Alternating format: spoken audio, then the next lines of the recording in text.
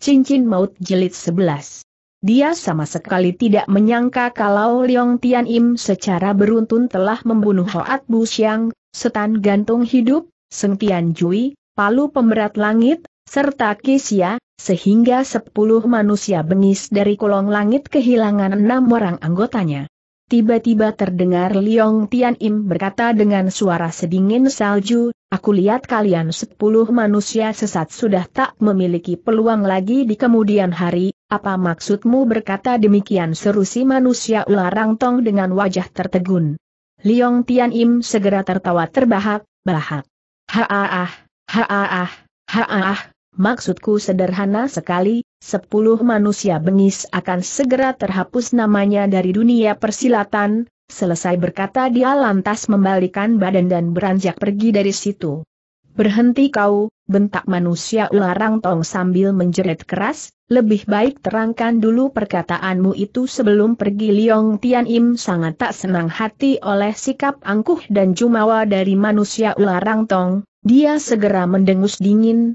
wajahnya pun dengan cepat pulih kembali dalam sikap yang dingin kaku seperti salju. Diliriknya wajah manusia ularang boy itu sekejap dengan pandangan dingin, kemudian katanya, selama ini kalian sepuluh manusia bengis selalu malang melintang dalam dunia persilatan sambil melakukan banyak kejahatan di tempat luaran, HMM, Tahukah kau bahwa aku mengirimkan tiga orang manusia yang paling jahat di antara sepuluh manusia becagis yakni Kisya, si palu pemberat langit dan setan gantung hidup untuk berpulang ke rumah nenek moyangnya, Oh oh apa saking kagetnya manusia ularang tong sampai melompat ke tengah udara, kau benar-benar telah membinasakan tiga orang saudara angkatku tanda tanya HMM, mereka pantas untuk menerima kematian apa arti kematian bagi mereka ucapan yang dingin. Kaku dan tak berperasaan itu seketika membuat sekujur badan manusia ularang tong yang berhati bengis dan bertangan keji itu gemetar keras, Ditatapnya Liong Tian Im dengan wajah aneh,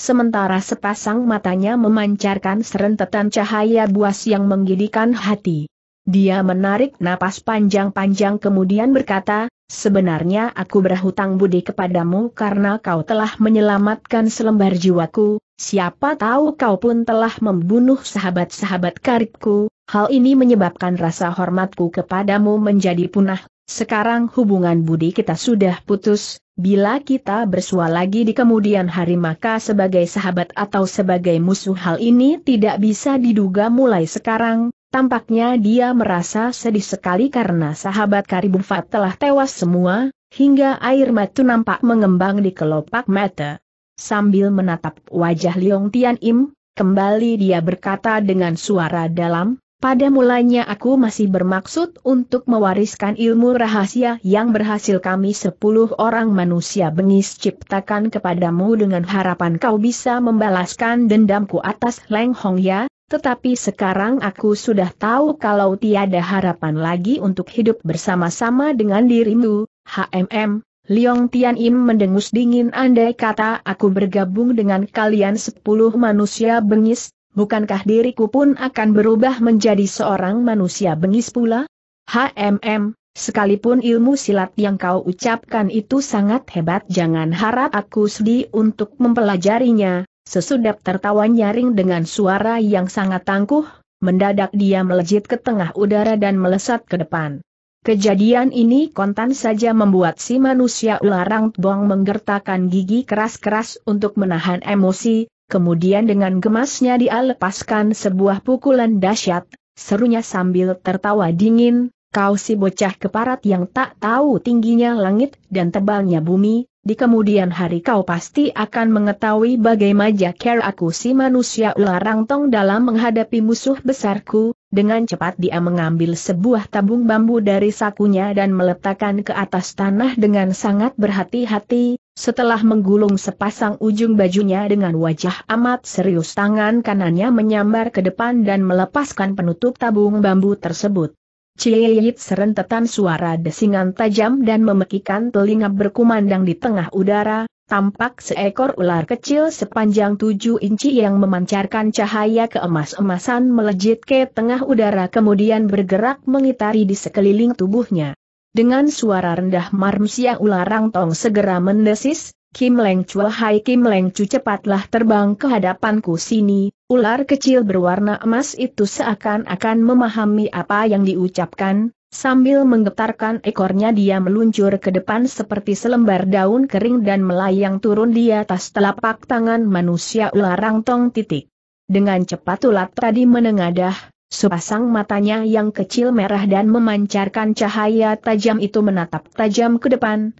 sementara lidahnya yang berwarna merah darah menjulur keluar tiada hentinya, seakan-akan siap memagut mangsanya. Manusia ularang tong segera tertawa seram, Kembali dia berseru, Kim Leng Chu, aku tahu kalau kau lapar, gigitlah di atas lenganku ini tapi jangan kelewat rakus darah yang kau hisap pun tak boleh kelewat banyak. Kook ular kecil berwarna emas itu mendadak melejit ke udara, lalu menerjang ke atas lengan manusia ularang tong yang sementara itu telah dipersiapkan. Manusia ularang tong mendengus tertahan, di atas wajahnya yang dingin terlintas suatu penderitaan yang amat sangat hingga butiran keringat jatuh bercucuran. Dia membiarkan Kim Leng Chu menghisap beberapa teguk darahnya, kemudian dengan suara gemetar dia baru berseru, darahku tak cukup untuk kau hisap, aku akan menyuruh kau menghisap darah di dalam hati seseorang kook, kook,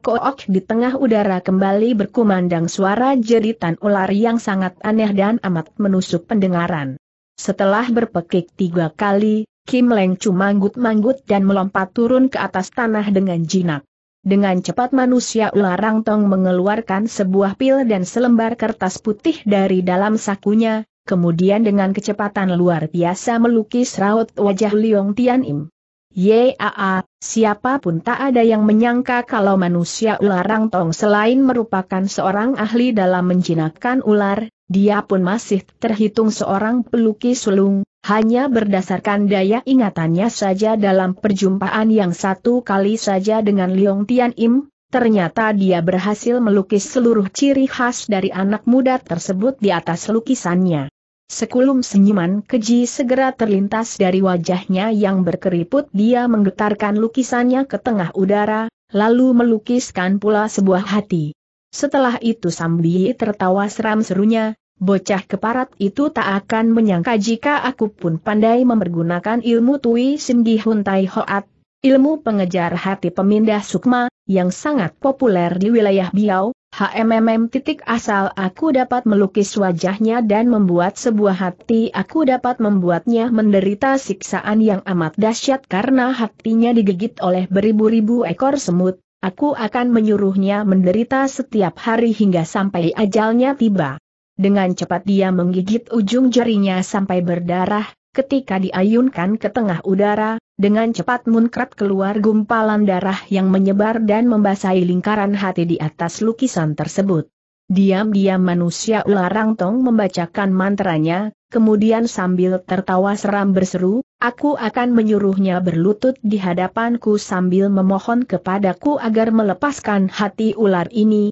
waktu itu semua keangkuhan dan kekerasan hatinya akan berubah menjadi rengekan dan penuh suara minta belas kasihan, segenap titik kelemahannya akan terlihat jelas atau jika dia tak mau berbuat demikian biarlah ia menantikan saat ajalnya tiba, bergumam sampai di situ, dia lantas memandang sekejap ke arah Kim Leng Chu yang berbaring tenang di atas tanah. Tampak Kim Leng Chu sedang memperhatikan percikan darah di atas lukisan tersebut dengan sorot mata amat rakus, sementara mulutnya memperdengarkan jeritan dan desisan yang melengking, ia menengadah seakan-akan siap menerjang ke arah lukisan tersebut. Manusia ularang tong segera meraung keras, serunya, aku hanya menyuruh kepadamu untuk berubah menjadi seekor ular hati, selamanya menghisap darah dalam hatinya, Kim Leng Chu berkauk aneh, tubuhnya pelan-pelan bergerak ke depan, kemudian melingkari lukisan mana dan mengendus darah segar yang terpercik di atas lukisan berbentuk hati itu. Menyaksikan hal ini, manusia ularang tong segera mencaci maki dengan marah, kau si keparat yang rakus, sama-sama merupakan darah yang mengalir keluar dari badanku, mengapa tidak kau hisap? Apakah darah hati tak berwujud yang berhasil kuciptakan ini bisa terendus pula bawa misnya bocah keparat itu, Kim Leng Chu mendengus berapa kali di tengah udara, mendadak dia melompat masuk ke dalam hati yang berada dalam lukisan itu dan menjilati darah yang terpercik di situ. Hei eh hei eh manusia ularang tong mendesis seram, ke arah di mana Liong Tiangin pergi tadi, dia segera meraung keras. Nilobato si Raja Ular titik harap kau mencengkeram hati si bocah keparat itu, ayabaf ke seluruh penjuru tempat itu. Waktu itu Liong Tian LM sedang berlarian kencang, mendadak ia merasakan hatinya sakit sekali, hawa murninya tahu-tahu buyar dan tubuhnya segera roboh terjengkang ke tanah. Dengan penuh penderitaan dan meraba hati sendiri, kemudian serunya dengan suara gemetar aduh, Kenapa hatiku bisa menjadi sakit sekali secara mendadak? Seluruh tubuhnya gemetar keras, dia merasa seluruh hatinya seolah-olah hendak pecah dan hancur, bagaikan ada seekor ular yang melilitnya kencang-kencang, saking kesakitan dia sampai mundur dengan sempoyongan lalu roboh terjengkang ke atas tanah. Menanti dia meronta bangun dari atas tanah di depan matanya sana terbentang sebuah telaga besar berbentuk kipas yang berwarna hijau, peluh dingin bercucuran membasahi seluruh tubuhnya, pemuda itu merasakan hatinya menderita sekali bagaikan ditusuk-tusuk dengan pisau tajam. Akhirnya sambil mendesis parau, buru-buru dia berjalan ke tepi telaga dan membenamkan seluruh tubuhnya ke dalam air, setelah meneguk beberapa tegukan air telaga, dia baru merasakan penderitaan yang mencekam hatinya makin berkurang dengan sedih dia menggelengkan kepalanya berulang kali gumamnya dengan penuh penderitaan.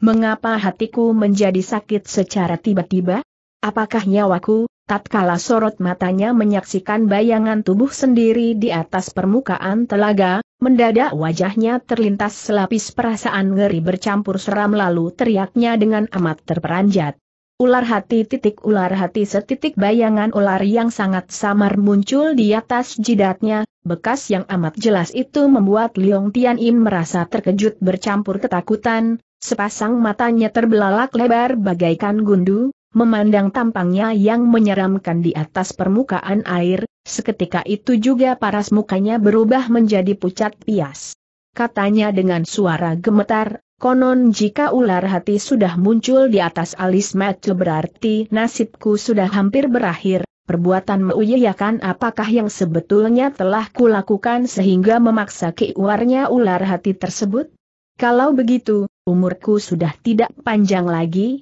ia segera tertawa tergelak dengan suara yang memilukan hati, segenap kemurungan, kesedihan dan keresahan yang terhimpun selama berapa hari ini dilampiaskan keluar semua, tapi ketika teringat akan budi dendam perguruannya dan dendam kesumat tayah ibunya, dia pun merasa sedih kembali karena akan berakhirnya kehidupan di dunia ini. Aaai tanda seru tiba-tiba dia mendengar suara laan napas sedih, putus asa dan pelbagai perasaan lainnya. Liong Tian Im merasa tertegun buru-buru dia berpaling ke arah mana berasalnya suara tadi. Tapi dengan cepat dia menarik napas dingin, Saking terkesiapnya dia sampai mundur beberapa langkah, hampir saja dia tak percaya kalau di dunia ini terdapat kejadian yang begitu aneh. Aaai, kau anggap aku menakutkan suara teguran yang amat dingin bagaikan salju kembali berkumandang memecahkan keheningan.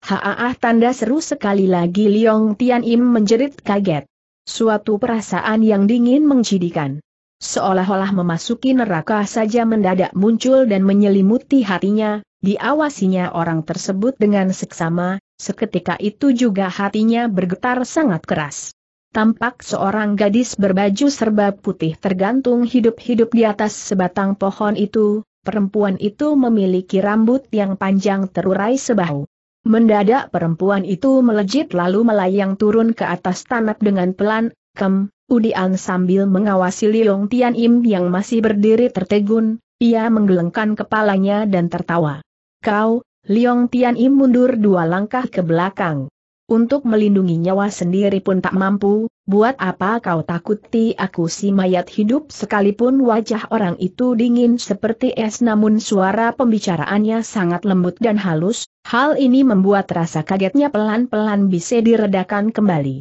Diam-diam dia menghimpun tenaga dalamnya untuk mengitari seluruh badannya, kemudian dengan sekuat tenaga berusaha untuk menahan penderitaan di dalam hati. Tempat ini adalah Cui Sim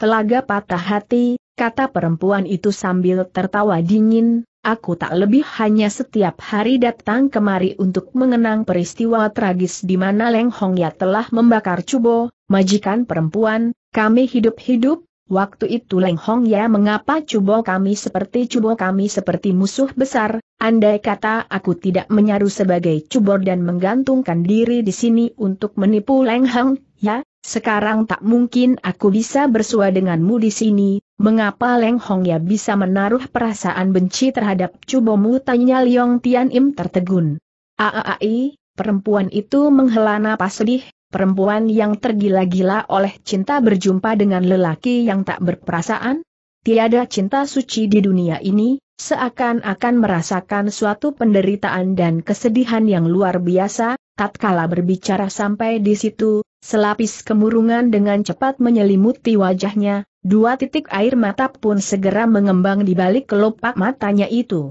Liong Tian Imamat terkesiap, dia dibuat tergetar hatinya oleh mimik sedih yang diperlihatkan perempuan itu. Ia tak menyangka kalau dalam lembah Teeong kok bisa terjadi begitu banyak kejadian yang sama sekali tak terduga, terutama sekali tentang rahasia Leng Hong Ya di masa lampau, dia ingin sekali bisa mengetahuinya agar dengan dasar kisah maut ia bisa menentukan apakah Leng Hong Ya adalah seorang manusia budiman ataukah manusia yang paling keji di dunia ini. Sesudah menghela napas panjang, katanya, jika ku dengar dari pembicaraanmu barusan, tampaknya cubomu pasti mempunyai suatu kisah yang tragis di masa lalu, tentu saja jawab perempuan itu dengan kening berkerut. Siapa yang tidak tahu kalau cuboku adalah Tian Kiam Bok, dia seperti menyadari akan kesalahannya berbicara, buru-buru kata berikutnya ditelan kembali mentah-mentah.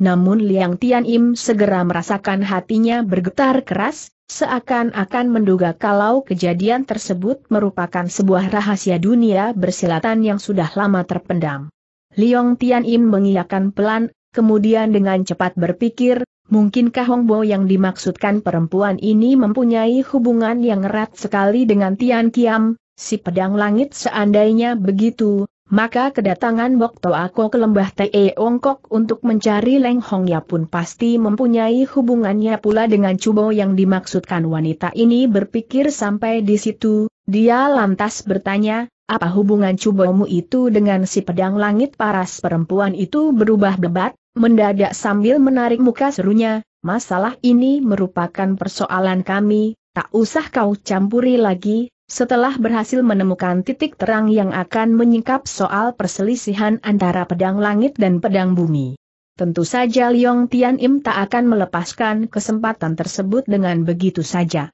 Kendati pun perempuan itu sudah menarik muka dan membuat sikap Liong Tian Im menjadi tersipu-sipu, namun dia sama sekali acuh, Seakan-akan tak pernah terjadi sesuatu apa pun, dia tertawa lebar. Aku minta Kasudi menanyakan boleh tidak berjumpa dengan cubomu, pintanya sambil tertawa getir, aku ada persoalan yang hendak disampaikan kepadanya, siapakah kau paras muka perempuan itu berubah hebat mendadak tubuhnya menerjang ke muka sambil melakukan tutukan, Telapak tangannya diayunkan dan segulung angin pukulan yang sangat kuat dengan cepat menghantam tubuh Liong Tian Im. Bila kau adalah utusan dari Leng Hong Ya, aku akan merenggut selembar nyawamu. Liong Tian Im merasa terperanjat juga ketika dilihatnya sebuah ayunan telapak tangan yang ringan menghasilkan segulung angin pukulan yang sangat kuat. Satu ingatan Jia cepat melintas di dalam benaknya, ia segera berpikir, Sungguh dahsyat tenaga dalam yang dimiliki perempuan ini, aku harus menghadapinya dengan sangat berhati-hati, akibat penderitaan yang dialaminya karena gigitan ular hati dalam tubuhnya si anak muda itu tidak sanggupnya untuk menghimpun kembali segenap tenaga dalam yang dimilikinya, buru-buru dia melompat ke samping menghindarkan diri dari ancaman angin pukulan yang maha dahsyat tersebut.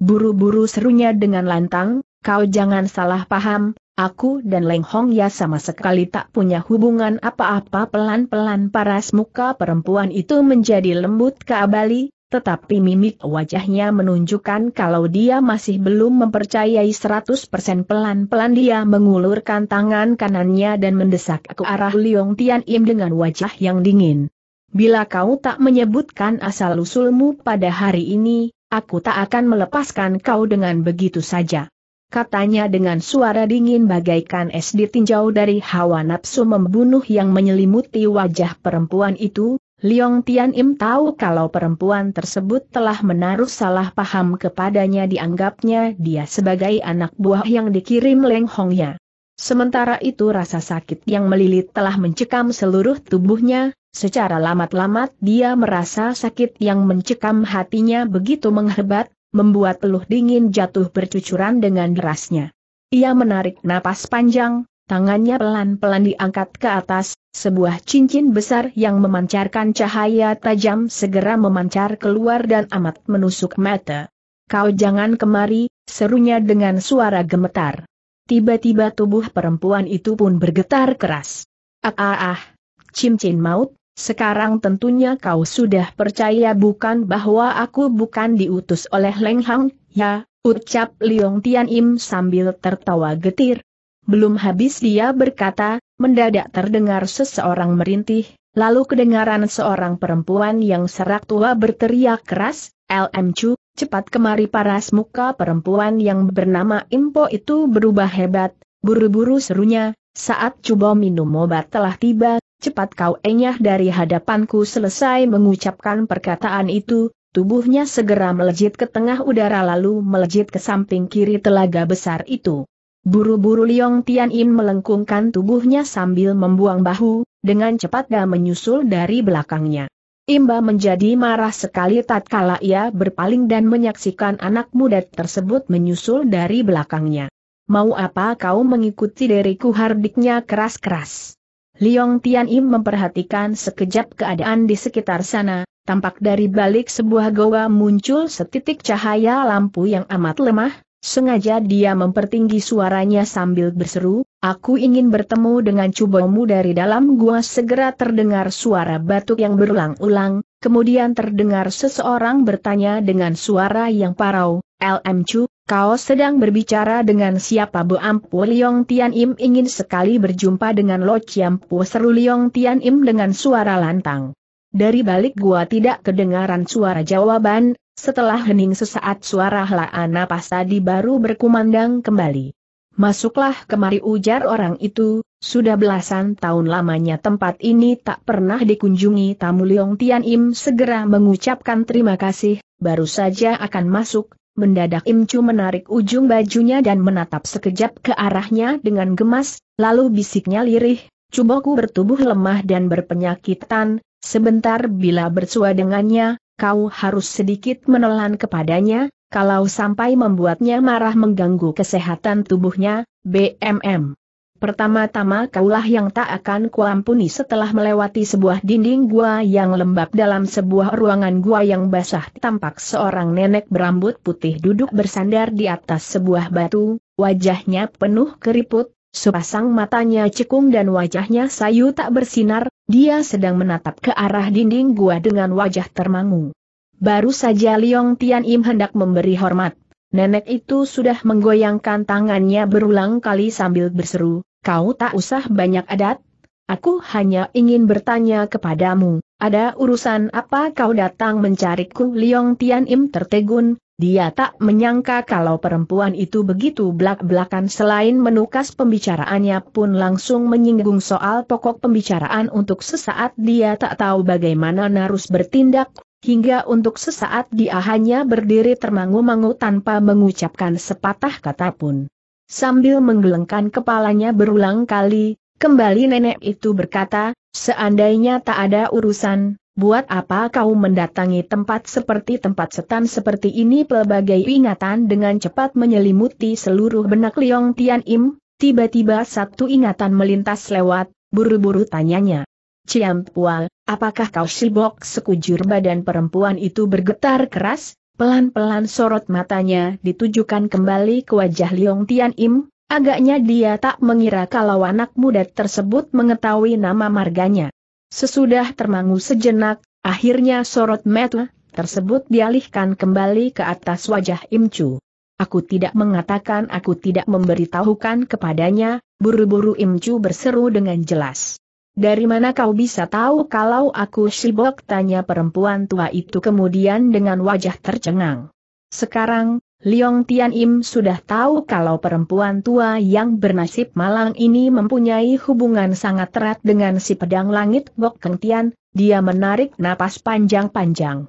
Bila ku sebut nama seseorang, mungkin Ciampo akan mengetahuinya, dia adalah saudara angkatku siapakah dia tanya perempuan tua itu cemas. Dengan sorot mata yang tajam bagaikan semilu Liong Tian Im menatap wajah perempuan tua itu lekat-lekat, kemudian sahutnya, dia adalah Toa Koku, Bok Cihaah, adikku tiba-tiba sekujur badan perempuan ini bergetar keras seakan-akan kena tersambar geledek di siang hari bolong. Setelah berhenti sejenak, dengan napas tersengkal-sengkal serunya lagi, kau kenal dengan adikku sekarang dia berada di mana? Liong Tian Im cukup memaklumi bagaimanakah luapan rasa girang dan gelisah yang menyelimuti seseorang yang sedang bersedih hati, begitu ia mendengar kabar berita tentang sanak atau keluarganya. Buru-buru katanya, Toa Koku, pun sudah berada di dalam lembab Te Ongkok, kemungkinan besar dia akan menyusul kemari. Aku tak ingin berjumpa dengannya teriak perempuan tua itu dengan suara dalam,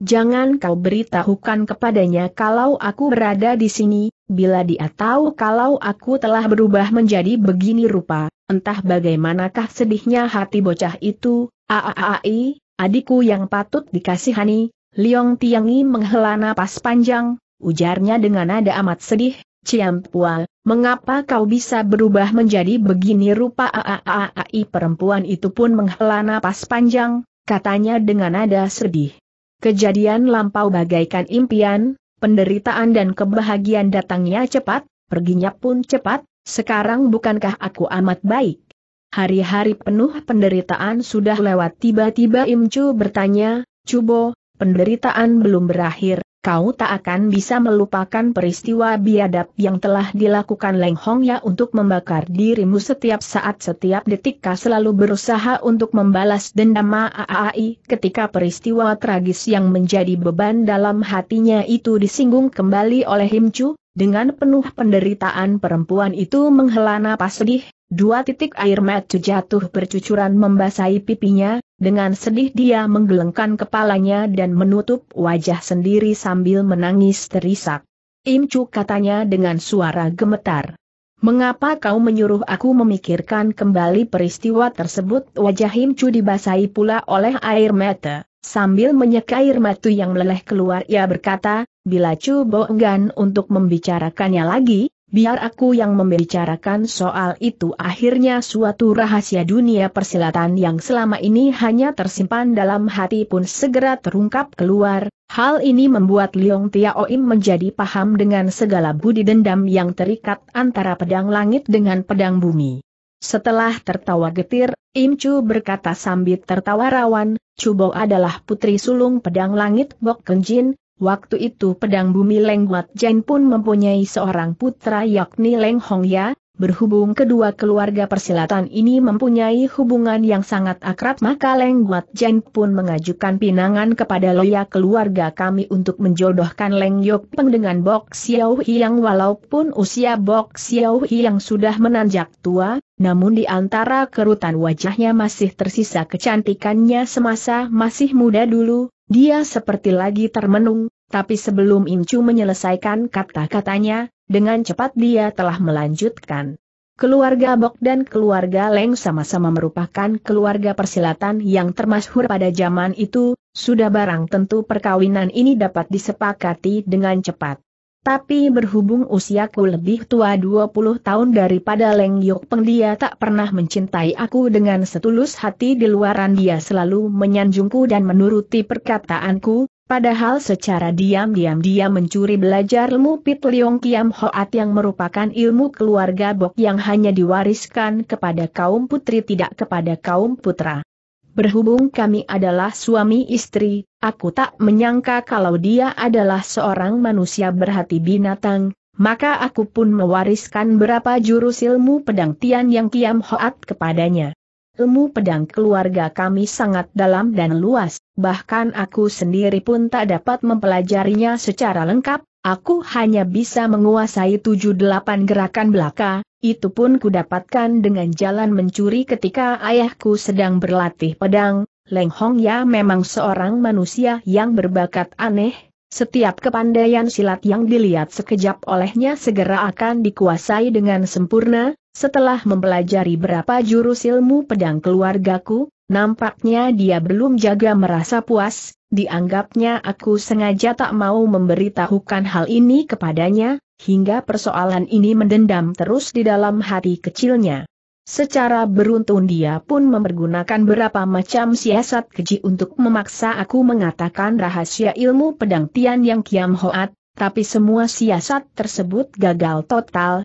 waktu itu, Aku sudah mengetahui akan kebusukan hatinya secara diam-diam aku pun mengutus orang untuk melaporkan kejadian ini kepada ayahku terdorong oleh emosi dan rasa sedih yang amat besar, sekalipun Bok Xiao yang mengisahkan semua pengalamannya sampai di situ, napasnya segera tersengkal-sengkal dengan wajah memucat. Im Chu yang menyaksikan keadaannya amat menderita, buru-buru maju ke depan sambil memijit punggungnya, lalu berkata, Cubo, beristirahatlah sebentar, Bok Xiao yang segera menggeleng, tidak, aku harus mengutarakan semuanya, sudah hampir 30 tahun lamanya peristiwa ini mencekam dalam dadaku sungguh beruntung aku dapat bersua dengan sahabat karib adikku pada hari ini, asal semua rahasia yang mencekam di dalam dadaku bisa terluarkan keluar meski harus mati pun aku tak akan merasa menyesal tanda seru setelah berhenti sejenak, dengan napas tersengkal lanjutnya, ketika ayahku mendengar berita itu tentu saja marah sekali. Pada malam itu juga dia segera berangkat meninggalkan Toa Po Satnia untuk merundingkan peristiwa ini dengan pedang bumi Lengguat Jin. Walaupun Lengguat Jin nampak lemah lembut di luar, sesungguhnya dia merupakan seorang manusia yang amat licik, ketika ditegur dia segera minta maaf, bahkan memanggil Leng Hong Ya datang dan menegurnya di hadapan ayahku, peristiwa tersebut pun berlalu dengan begitu saja Liong Tian Im yang mendengar cerita tersebut segera merasakan darah panas yang mendidih dalam dadanya, seluruh urat nadi dalam tubuhnya seakan-akan hendak meledak. Diam-diam ia menghela napas panjang, pikirnya dengan cepat. Sungguh tak kusangka Leng Hong Ya bersedia mengawini seorang perempuan yang 20 tahun lebih tua darinya sebagai istrinya, tak heran kalau dia tidak menyukai encinya Bokto Ako,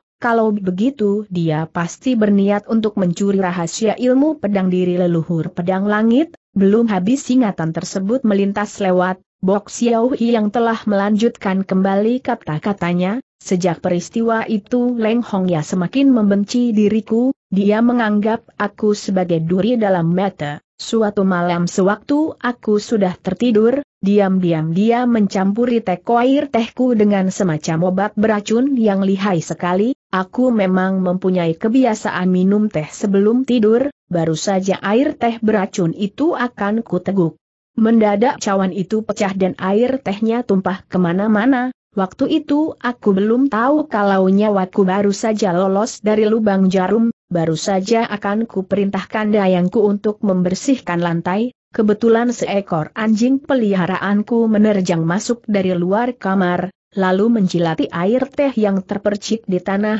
apa yang terjadi? Tak selang berapa saat kemudian anjing itu muntah darah dan mati konyol, Liong Tian Im merasakan hatinya bergetar keras setelah mendengar kisah tersebut, diam-diam dia menggelengkan kepalanya sambil menghela napas, pikirnya, aaai, orang bilang hati manusia sukar diduga, siapa pula yang mengira Leng Hong Ya begitu tega menggunakan obat beracun untuk mencelakai istrinya sendiri, sementara itu Bok Xiao yang sendiri pun sudah tenggelam dalam lamunan sendiri, Sepasang matanya memandang ke arah dinding gua dengan pandangan kosong, sementara wajahnya menunjukkan pelbagai perubahan mimik wajah.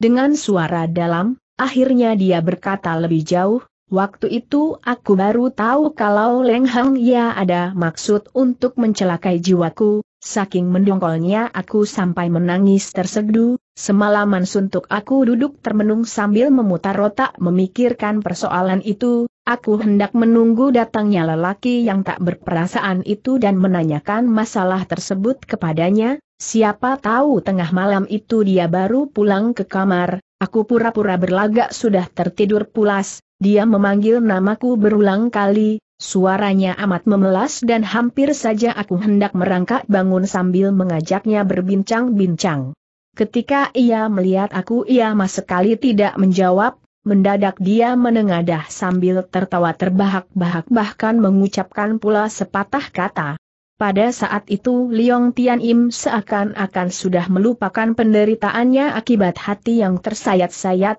dengan agak tegang dia segera bertanya, apa yang dia katakan dengan menirukan nada suara Leng Hang ya pada waktu itu, Bok Xiao Hiang menjawab dengan suara lirih. Dia bilang begini kau perempuan rendah kiranya mampus juga, HMM dengan mengandalkan nama besar keluarga Leng kami, siapa yang kesudian dengan perempuan jelek macam kau? Huh, seandainya tidak memandang pada ilmu pedang Tian yang kiam hoat kepandaianmu, Waktu itu aku merasa gusar bercampur sape hati, sambil membalikan badan ingin segera ku perseni sebuah tempelengan keras pada wajahnya. Tapi orang itu memang seorang yang berwatak licik dan panjang akal busuknya, Sewaktu menyaksikan aku melompat bangun dengan terperanjat segera dia mengucapkan kata-kata yang sangat enak didengar dengan wajah penuh senyuman bahkan sengaja menggoda aku, mengatakan aku menjadi bertambah cantik. Bila sedang marah aku memang orang yang tak tahan menghadapi bujuk rayu yang amat enak didengar itu,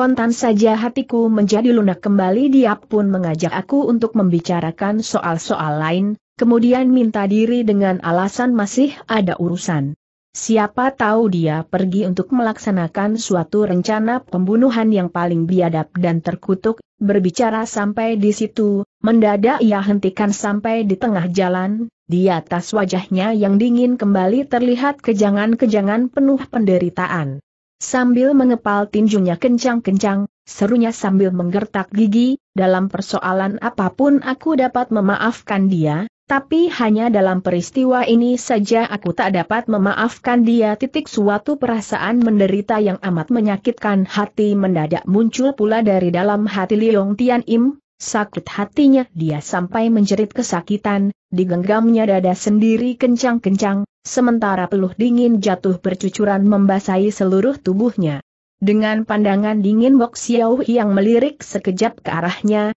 kemudian berkata, ular hati sudah muncul di antara kerutan alis matanya, bila ular hati itu belum tercabut jangan harap bisa sembuh, Aai sungguh tak kusangka kau yang masih begitu muda sudah mempunyai rahasia hati yang melukai hatimu sehingga memaksa ular hati menggigit hati, Walaupun dia adalah seorang keturunan dari suatu keluarga persilatan besar, namun untuk sesaat tak diketahui olehnya kalau Liong Tian Im sudah terkena ilmu Tui Sim Gi Hun Tai Hoat yang merupakan ilmu paling rahasia di dalam wilayah Biao, kalau tidak, sudah pasti perempuan yang bernasib jelek ini pasti akan menjerit kaget. Buru-buru Liong Tian Im mengerahkan tenaga dalamnya untuk melawan penderitaan yang menusuk hati itu, Kemudian setelah berhasil agak menenangkan hatinya, dia berseru, kau tak usah menggubris diriku cepat lanjutkan ceritamu itu, Bok Xiao yang tertawa sedih,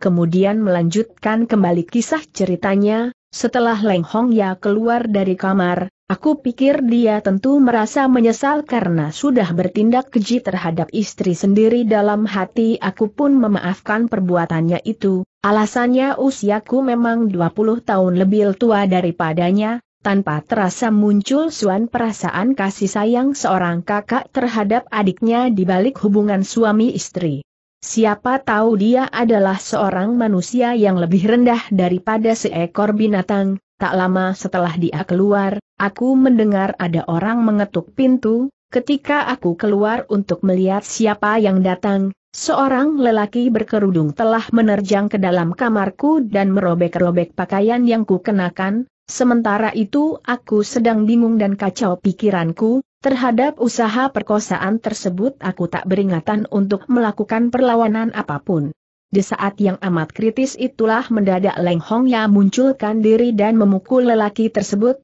kemudian mencaci maki aku sebagai perempuan rendah yang tidak setia, perempuan yang nyeleweng, bahkan menitahkan kepadaku untuk bunuh diri, dia mengancam jika aku tidak segera bunuh diri maka dialah yang akan membunuhku, Waktu itu aku tak bisa membantah atau mengucapkan sepatah kata pun, yang bisa kulakukan hanya menangis terseduh-seduh, setelah meninggalkan seutas tali putih, Leng Hong Ya segera berlalu meninggalkan tempat itu, sedang aku tahu daripada hidup lebih baik mati saja dengan menggantung diri, pada saat itulah Him Chu datang dengan tergesa-gesa dan melaporkan kalau Leng Hong Ya hendak membakar rumah itu. Dia minta kepadaku agar cepat-cepat selamatkan diri, berbicara sampai di sini dia melirik sekejap ke arah Imcu, kemudian lanjutnya dengan suara sedih, pada saat itulah aku baru memahami serangkaian siasat keji dari Leng Hong Ya tersebut, aku tidak rela untuk mati dengan begitu saja, setelah berunding dengan Imcu, dia pun menyaru sebagai aku untuk menggantung diri sementara aku berusaha melarikan diri, menanti aku sudah kabur, api telah menjalar ke seluruh bangunan rumah, sungguh tak nyana Imcu memang cerdik, sesaat api mulai membara, dia pergunakan perawakan lelaki yang tewas itu untuk menggantikan tempat duduknya, sementara dia pun melarikan diri lewat kebun belakang. Begitulah, sejak detik itu kami pun bersembunyi terus di sini, dalam waktu angka 2-30 tahun sudah lewat. Makin bercerita hatinya semakin berat dan sedih, air matanya bercucuran amat derasnya. Tatkala menyelesaikan kisah tersebut dia sudah bergoncang keras menahan isak tangisnya yang menjadi-jadi, LM Chu turut melelahkan air mata sambil menangis pula. Liong Tian In sama sekali tak menyangka kalau Leng Hong Ya dari lembah Tei Kok adalah seorang manusia berhati bengis yang lebih keji daripada binatang, Kontan saja segulung hawa amarah menerjang keluar dari dalam dadanya. HMM, dia mendengus dingin, pikirnya kemudian, baru pertama kali ini kujumpai manusia licik yang berwajah saleh, setelah ku ketahui masalahnya maka aku pun harus mencampurinya pula, akan ku tantang Leng Hogia untuk bertarung. Tanda petik. Apa yang dipikirkan di dalam hatinya tak berani diperlihatkan keluar, maka sambil menunjukkan sikap keheranan, anak muda itu segera bertanya lagi, dengan menyembunyikan diri di sini,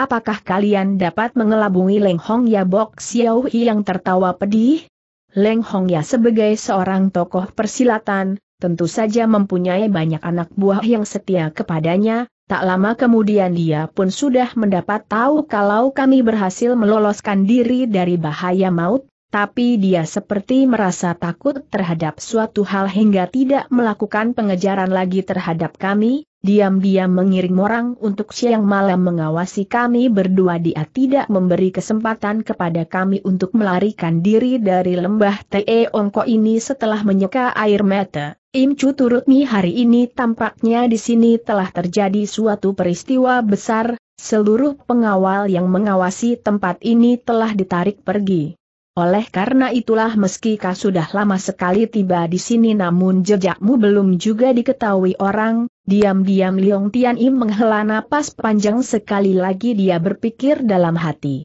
Tentu saja kalian tidak tahu kalau Bokto Akoku dengan menyoren pedang telah menyerbu ke dalam lembah Te Ongko ini sehingga membuat Leng Hong Ya ketakutan setengah mati, ditambah lagi sepuluh manusia bengis dari kolong langit ikut melakukan pengacauan, tentu saja dia tak punya waktu lagi untuk mengurusi tempat ini, belum habis ingatan tersebut melintas lewat, mendadak dari luar gua terdengar suara langkah kaki yang amat lirih. Im Chu maupun Bok Xiao yang sama-sama terasa terperanjat dengan pandangan bergidik mereka mengawasi mulut gua lekat-lekat. Liong Tian Im pun tak berani bertindak gegabah, diam-diam ia menghimpun sisa tenaga dalam yang dimilikinya ke dalam telapak tangan guna bersiap siaga menghadapi segala kemungkinan yang tak diinginkan. Dengan cepat Bok Xiao yang memberi tanda kepada Liong Tian Im kemudian bisiknya. Cepat menyembunyikan diri ke belakangku, kita berbicara lagi setelah tahu siapa yang datang. Titik Liong Tian Im tahu tenaga dalamnya tak bisa dihimpun sekarang akibat gigitan ular dalam hatinya, dengan cepat dia mengangguk dan menyembunyikan diri ke belakang tubuh Bok Xiao Hiang, setelah itu mengawasi ke arah depan dengan pandangan tajam. Setelah suara langkah itu bergema, tiba-tiba suasana di luar gua menjadi hening kembali, Lewat sesaat baru terdengar seorang berseru dengan suara yang tua tapi penuh tenaga, Xiao Hiang. Xiao Hiang begitu mendengar suara panggilan yang amat dikenalnya itu, sekujur badan Bok Xiao Hiang lalu gemetar keras, suatu perasaan yang bagaikan di alam mimpian membuatnya tak sanggup menjawab untuk sesaat lamanya. Kau kau masih teringat akan diriku akhirnya dia berseru dengan suara gemetar. Tampaknya orang yang berada di luar gua itu merasa sedih sekali setelah menghela napas berat, ujarnya, bolehkah aku masuk ke dalam untuk menengok dirimu begitu ucapan tersebut selesai diutarakan, suara langkah kaki yang amat nyaring segera berkumandang datang. Di bawah sorot cahaya lentera yang redup, tampak seorang kakek berdiri di dalam ruangan dengan perkasanya.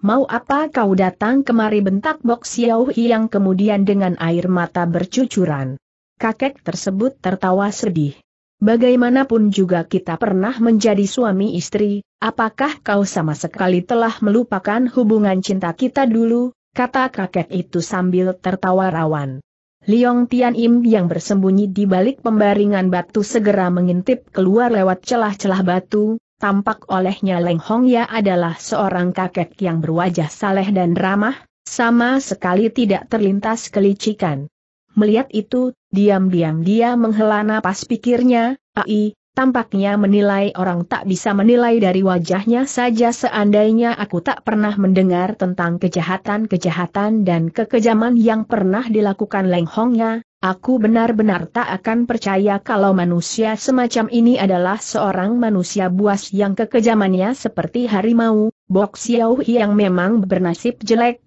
perkawinan yang tak berbahagia membuat hatinya yang hancur tak pernah merasakan setitik kehangatan pun.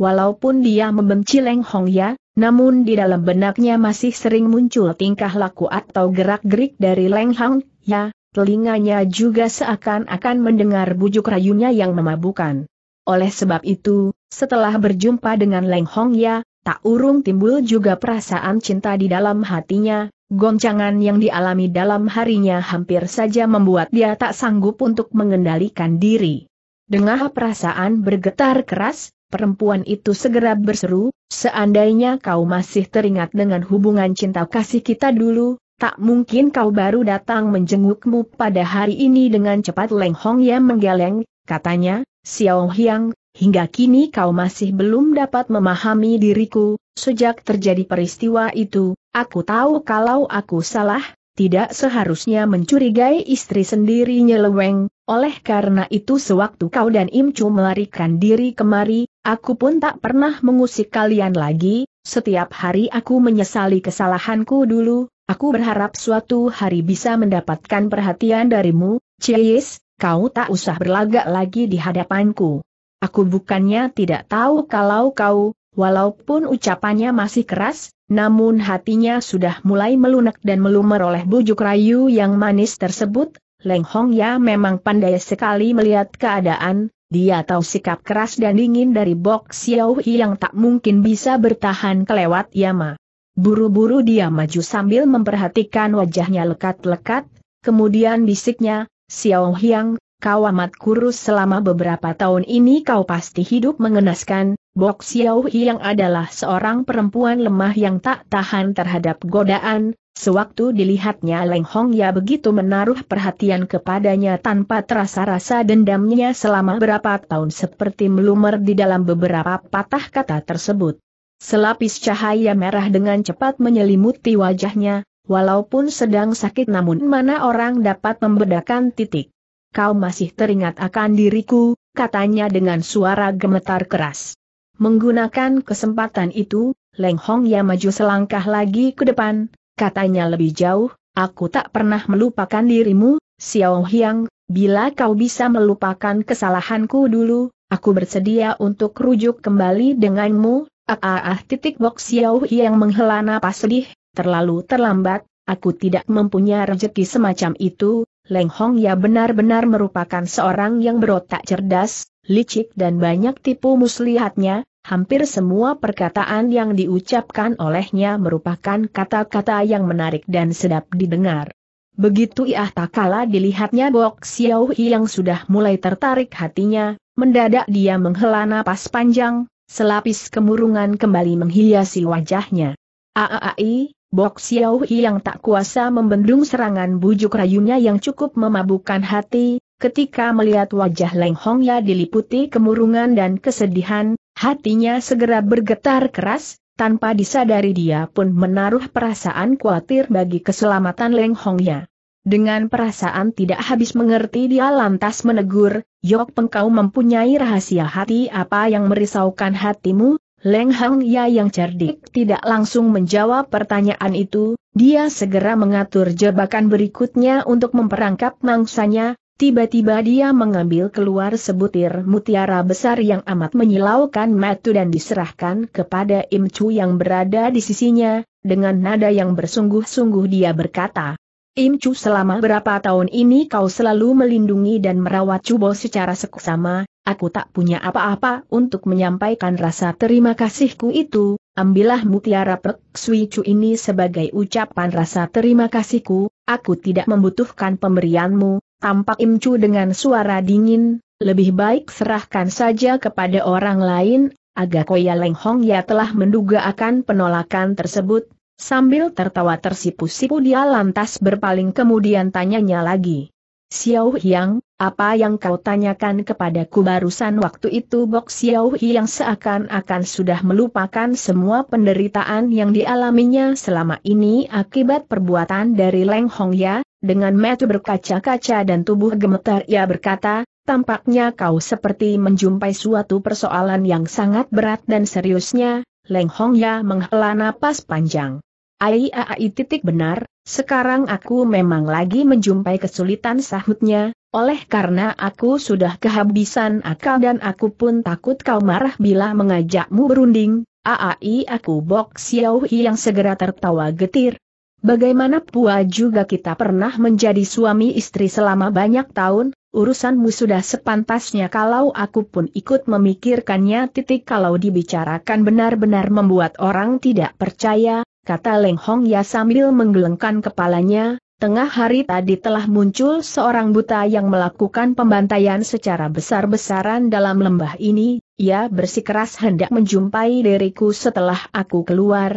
dia pun berulang kali ingin mencarimu, dia menyebutnya sebagai adikku, oleh karena aku merasa bersalah kepadamu, dan aku pun tak tega membunuhnya, terpaksa aku datang kemari ingin bertanya kepadamu titik dengan perasaan bingung Bok Xiao yang menggelengkan kepalanya berulang kali, serunya cepat. Aku tidak mempunyai seorang adik yang buta, seandainya dia adikku, tak mungkin matanya buta, Liong Tian Im merasa hatinya bergetar keras segera pikirnya, Yaa, benar Leng Hong ya pasti sudah berjumpa dengan engkau Bok Ci kalau begitu Bok To aku telah bersua dengan Leng Hong ya. Entah ilmu pedang siapakah yang lebih unggul tiba-tiba terdengar Leng Hong ya bertepuk tangan nyaring sambil berseru keras, betul, seandainya dia adalah adikmu, aku pasti akan kenalinya dalam sekilas pandangan, wajah si buta ini mempunyai sebuah codet yang hampir sama dengan codet adik, itulah sebabnya merasa rada sangsi, Bok Xiao yang menghela napas panjang.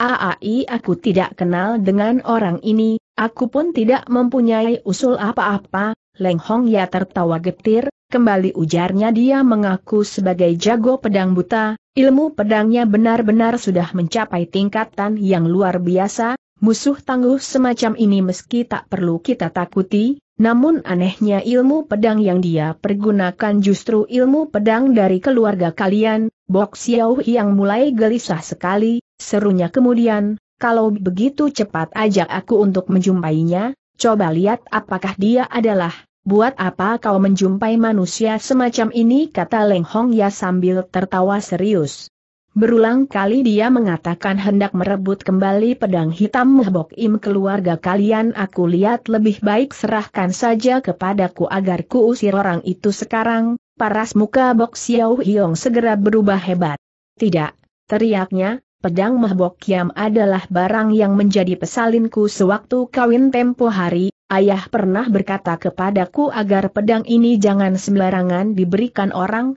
kalau tidak pemegang pedang bisa menggunakan pedang Mahbok Kiam itu menukar ilmu silat rahasia keluargaku sekarang di kolong langit dewasa ini kecuali yang yang berada di tangan Xiao Te, adik, Ceteh dibilang pedang ini. Andai kata aku yang menginginkan apakah kau akan berikan kepadaku tanya Leng Hong ya sambil tertawa serak. Soal ini, seperti telah mengambil keputusan, Bok Xiao yang segera berkata lebih lanjut. Tidak, Aku tak akan menyerahkan kepadamu, tenaga dalammu sudah memperoleh warisan langsung dari ayah, kau tak usah melatih ilmu pedang Tian yang kiam hoat ayahku lagi, apalagi ilmu pedang langit dan pedang bumi tak mungkin bisa dilatih bersama, mendadak dari luar gua berkumandang suara panggilan ayah, kemudian muncullah Leng Ning Chiu dalam gua itu sambil memandang semua orang yang hadir di sini dengan keheranan. Sekujur badan Bok Xiao yang gemetar keras,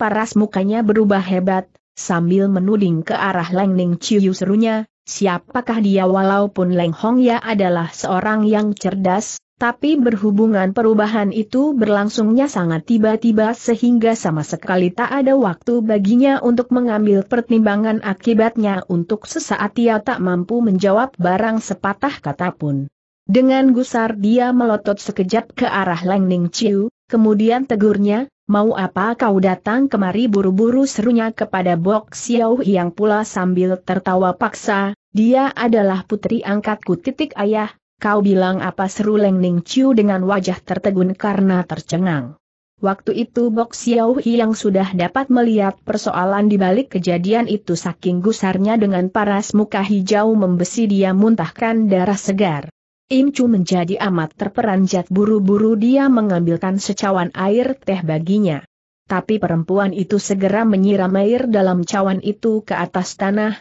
serunya, ternyata secara diam-diam kau telah bermain pet-pet gulipat dengan perempuan lain sehingga sudah berputri seorang pun tak berani memberitahukan kepadaku, bagus sekali. Hampir saja aku tertipu, rupanya kau ingin membohongi pedang kayuku untuk pergi menjumpai ayahku. HMM, asal kau dapat menghisap kembali air yang sudah tumpah di tanah ini, pedang kayu tersebut akan kuserahkan kembali kepadamu. Saking gusarnya sekujur badan perempuan tua ini gemetar keras, dari mulutnya dia muntahkan darah segar berulang kali, namun di balik matanya yang berkaca-kaca, mencorong keluar serentetan cahaya tajam yang buas dimenggidikan hati. Heh titik heh titik. Melihat siasat kejinya mengalami kegagalan total, Leng Hong ya tertawa dingin tiada hentinya, Aku sama sekali tidak berharap dengan perempuan busuk seperti kau, sekarang di antara kita berdua pun sudah tak ada yang bisa dibicarakan lagi, cepat serahkan pedang kayu itu padaku, aku akan mempergunakan pedang keluarga kalian untuk membunuh adikmu titik. Ayah seru Leng Ning Chiu dengan wajah tertegun setelan memandang Bok Xiao yang sekejap, sebetulnya apa yang telah terjadi di sini tak ada urusan denganmu, cepat kau enyah dari sini bentak Leng Hong ya dingin. Aku adalah istrinya, siapakah kau ucap Bok Xiao yang tiba-tiba dengan sedih. Apa Leng Ning Chiu membelalakan matanya lebar-lebar, kau adalah putrinya si pedang langit Bok Kejin. Bukankah ayah mengatakan kau telah mati dengan wajah tercengang dia memandang Leng Hong ya sekejap, kemudian dengan penuh kesedihan dia menuju keluar sambil serunya, akan ku beritahu kejadian ini kepadanya balik bentak Leng Hong ya tiba-tiba sambil melompat maju ke depan. Saat ini di atas wajahnya yang dingin kaku seperti salju itu sudah terlintas selapis hawa nafsu membunuh yang teramat tebal, hal ini membuat Leng Ning Chiu yang menghentikan gerakan tubuhnya berpaling dengan rasa ngeri. Selama hidup belum pernah dia menyaksikan Leng Hong Ya bersikap begitu dingin dan menyeramkan seperti itu tanpa terasa dia mundur dua langkah dengan perasaan ngeri. Dengan wajah diliputi kemarahan yang memuncak, Leng Hong yang mengancam, jika kan berani memberitahukan kejadian ini kepada ibumu akan kuhajarkan sampai mati pun. Tiba-tiba Bok Xiao yang mendongakkan kepalanya dan tertawa terbahak-bahak dengan seramnya, di balik suara tertawanya yang amat memekikan telinga itu terkandung pula rasa sedih, murung, duka dan pelbagai perasaan lainnya yang dilampiaskan keluar semua. Kemudian selesai tertawa dia berpekik nyaring, heeh heeh, Heeh koma tampaknya kau pun takut dengan bini merah padam selembar wajah Leng Hong ya karena jengah, dalam keadaan begini dia tak mampu untuk mengumbar nafsunya. Leng Ning Chiu seperti menjumpai suatu kejadian yang menyakitkan hatinya tiba-tiba dia menangis sedih-seduh, lalu sambil menutupi mukanya lari keluar dari dalam gua dari isak tangisnya terdengar semakin menjadi-jadi.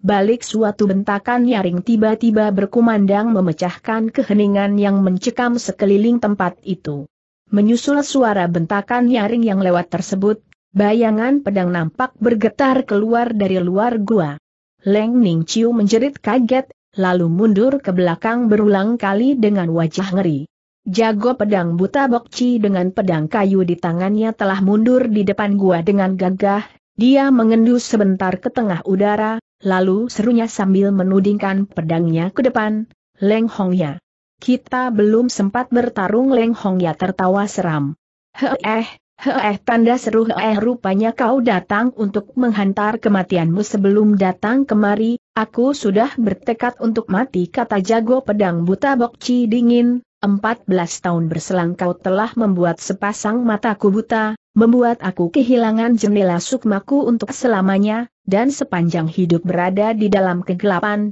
dendam kesumat ini bagaimanapun juga harus kutuntut balas. Pedang kayunya digetarkan membentuk satu lingkaran busur di tengah udara, gelombang pedang yang kuat mengikuti serentetan desingan angin serangan yang tajam bergerak di tengah udara dan menimbulkan serentetan gelombang hawa pedang yang amat dahsyat.